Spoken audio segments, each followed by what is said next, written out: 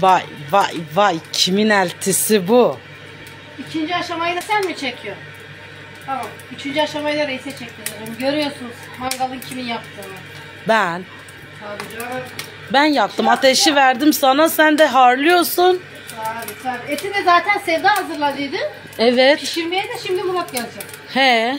Tabii tabii. Hep öyledir zaten. Ne olmuş sanki? Ya he abi he.